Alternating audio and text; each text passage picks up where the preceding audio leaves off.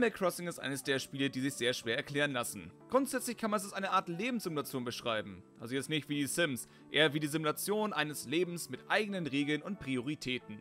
Serientypisch dürft ihr am Anfang einer bekannten Katze Fragen beantworten. Wie ihr heißt, wohin ihr reist und ein wenig Smalltalk. Diese Fragen sind wichtiger als man denkt, denn die Antworten entscheiden letztendlich, wie eure Figur aussieht. Kaum seid ihr angekommen, begrüßt euch das ganze Dorf und auch ihren neuen Bürgermeister. Denn wie sich schnell rausstellt, seid ihr der neue Bürgermeister.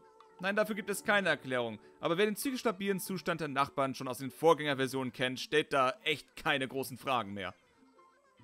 Als Bürgermeister ist es eure Pflicht, die Bewohner eures Dorfes glücklich zu machen und alles in Schuss zu halten. Aber es wäre kein Animal Crossing, wenn die eigenen Sorgen nicht die wichtigsten wären. Gleich am Start dürft ihr euch einen Platz aussuchen, an dem euer Haus stehen soll. Da ihr natürlich blank wie eine Kirchenmaus seid, könnt ihr die Anzahlung des Hauses nicht bezahlen und bekommt von Nook erstmal ein Zelt gestellt. Und schon beginnt das Spiel. Für alle, die es nicht wissen, in Animal Crossing läuft die Zeit in Echtzeit ab. Bedeutet, es ist genau derselbe Tag und dieselbe Uhrzeit im Spiel wie auch im echten Leben. Mit eigenen Feiertagen, Events und anderem.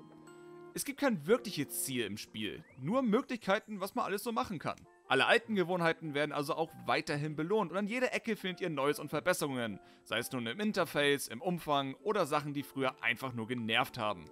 Wir werden bis zum Release jeden Tag in unser virtuelles Dorf schauen und ein Tagebuch aufzeichnen. Das Tagebuch und unser vollständiges Review mit allen Details über das Spiel geht am 4. Juli online. Bis dahin könnt ihr besondere Ereignisse im Spiel auf unserer Facebook-Seite verfolgen.